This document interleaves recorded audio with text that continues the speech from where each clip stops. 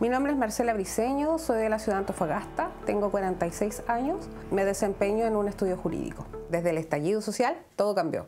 Bueno, las principales exigencias del teletrabajo, desde el punto de vista de la carga física, la carga mental, tiene que ver con que, bueno, por un lado, el trabajo te permite tener cierto nivel de autonomía, cierto nivel de flexibilidad y hasta ahí podríamos decir que es algo positivo. Pero lo negativo es que el trabajo se transforma mucho más sedentario y particularmente porque se produce un conflicto entre las labores destinadas al hogar y las labores que tienen que ver con el trabajo propiamente tal. Desde que nos vimos forzados a hacer el teletrabajo, estando inserto en lo, que es las labores de casa, una vez que uno se acomodó, ya uno puede verle los beneficios, cómo poder hacer otras actividades eh, respecto a la organización que cada uno tiene.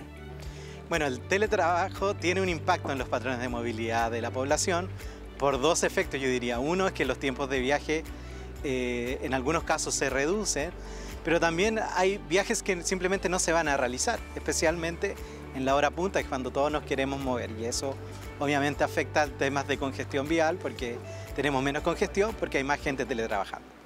Sebastián, ¿crees tú que se reducirían los problemas viales con más teletrabajo? Marcela, yo creo que en una primera instancia sí se resolverían algunos problemas viales si se aumentara el teletrabajo. Promete una mejora en la calidad de vida.